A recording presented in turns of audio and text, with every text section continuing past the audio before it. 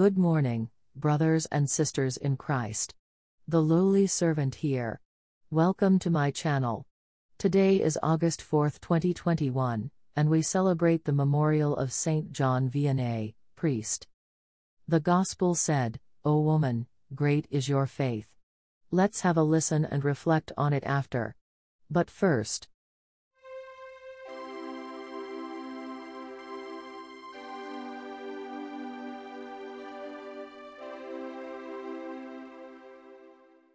The first reading is from the book of Numbers.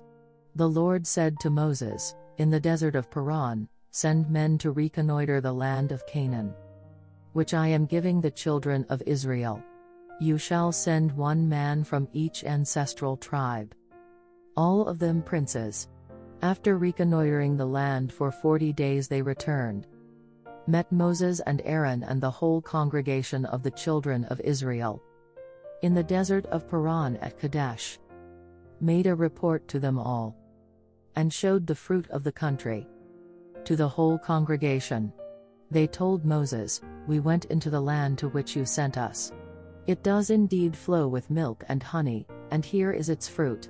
However, the people who are living in the land are fierce. And the towns are fortified and very strong. Besides, we saw descendants of the Anakim there. Amalekites live in the region of the Negeb. Hittites, Jebusites, and Amorites dwell in the highlands. And Canaanites along the seacoast and the banks of the Jordan. Caleb, however, to quiet the people toward Moses, said, We ought to go up and seize the land, for we can certainly do so. But the men who had gone up with him said, We cannot attack these people, they are too strong for us. So they spread discouraging reports among the children of Israel about the land they had scouted, saying, The land that we explored is a country that consumes its inhabitants.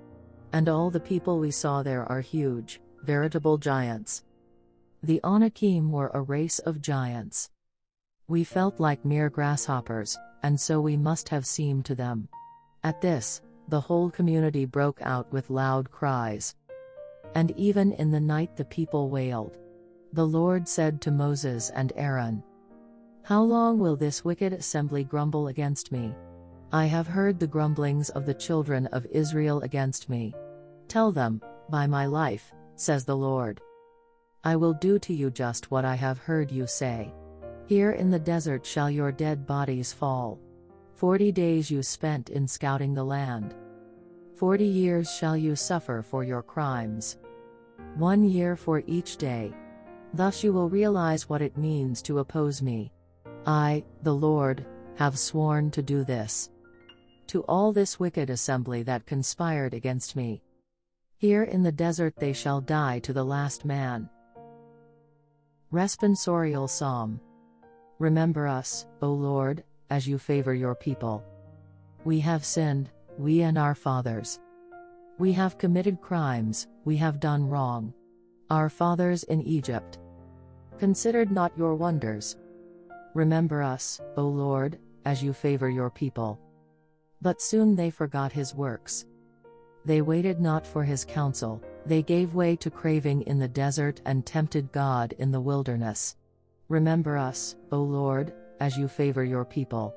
They forgot the God who had saved them, who had done great deeds in Egypt, wondrous deeds in the land of Ham, terrible things at the Red Sea. Remember us, O Lord, as you favor your people. Then he spoke of exterminating them, but Moses, his chosen one, withstood him in the breach to turn back his destructive wrath. Remember us, O Lord, as you favor your people. Alleluia, Alleluia. A great prophet has arisen in our midst and God has visited his people. Alleluia, Alleluia. The Gospel according to Matthew. At that time Jesus withdrew to the region of Tyre and Sidon.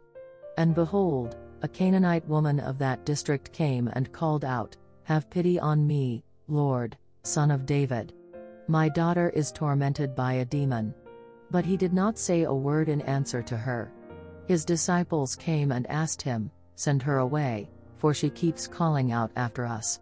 He said in reply, I was sent only to the lost sheep of the house of Israel. But the woman came and did him homage, saying, Lord, help me. He said in reply, It is not right to take the food of the children and throw it to the dogs.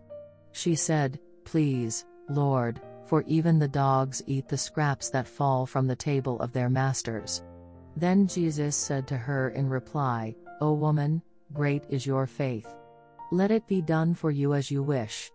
And her daughter was healed from that hour. Reflection After their spies had surveyed Canaan, the people of Israel were afraid to claim the promised land. In that critical moment of uncertainty, the faith of Caleb was inspiring and motivating. In the Gospel, the Canaanite woman demonstrated strong faith as she waited patiently for a positive response. Jesus threw the red flag at her, but she kept coming, he discouraged her, but she responded with humor. Commending her unshakable faith, Jesus said, Woman, great is your faith. Let it be done for you as you wish. Let us renew our faith in God with St. John Vianney's prayer I love you, O my infinitely lovable God, and I would rather die loving you than live without loving you. That's the end of the reflection from the Catholic Missal. Subscribe to my channel and click on the notification bell so you won't miss out on my next upload. Be safe and always keep God in your hearts. Peace to all.